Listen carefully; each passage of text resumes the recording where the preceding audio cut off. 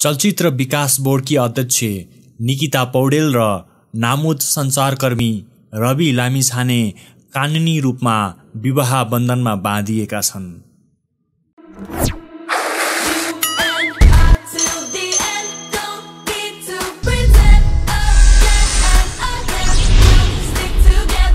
रवि लामिछाने र निकिता पौडेल आफ्ना सम्बन्धका बारे लामो समय गुपचुप रहे पनि रविको व्यक्तिगत जिन्दगीका सम्बन्धहरू एकपछि अर्को गर्दै मिडियाकर्मीले उदाङ्ग पार्न थालेपछि उनीहरू लिभिङ टुगेदरको सम्बन्धलाई पति पत्नीमा रूपान्तरण गरेका हुन्।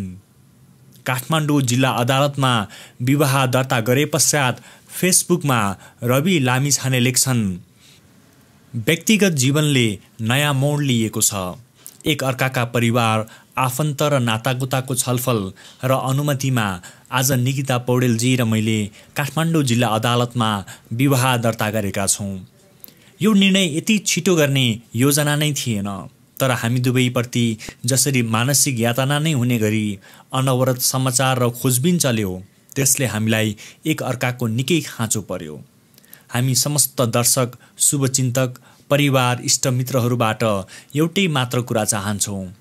आशीर्वाद। परम्परागत रूपमा हामी आउँदो वैशाखमा विवाह गर्नेछौँ यो हाम्रो नितान्त व्यक्तिगत जीवन हो।